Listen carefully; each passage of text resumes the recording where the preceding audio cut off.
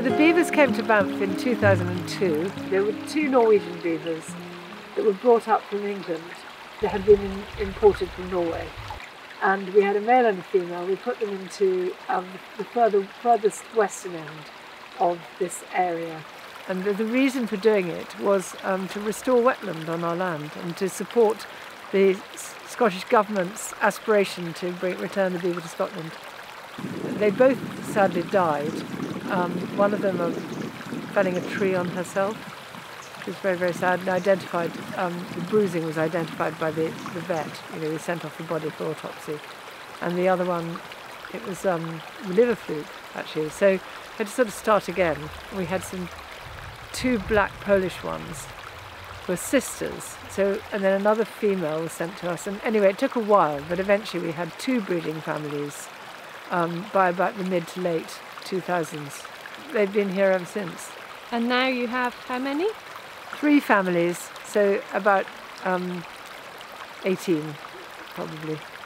Depending on how good the habitat is, they might have up to a kilometre of waterway per family. I mean, they obviously are breeding. We see kits every year. And so there will be, at this point, they're no longer enclosed. And so the dispersers are- are dispersing outwards. And sadly, we have no control over what becomes of them. Um, they're now a protected species, but on some farms, um, they have um, special licenses which allows them to shoot them. So if they go down onto the low ground farms, where they do actually come into the most conflict, um, then in some cases they may be shot, sadly. Is there anything we, the public, can do about that? Yes, I, I- that's a good question. Um, well, we are.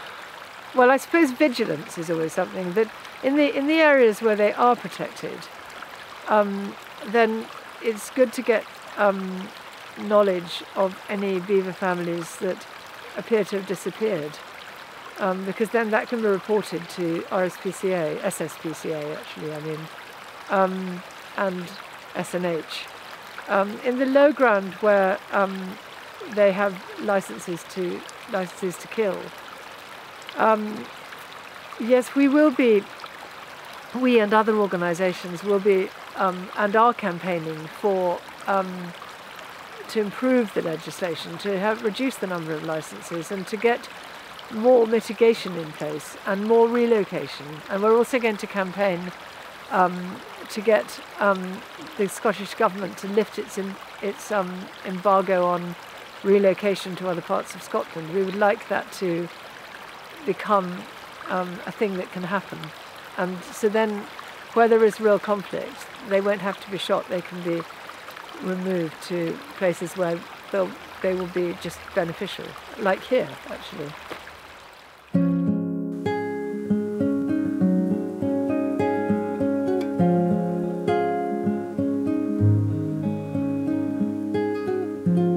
Westland winds and slow train guns bring autumn's pleasant.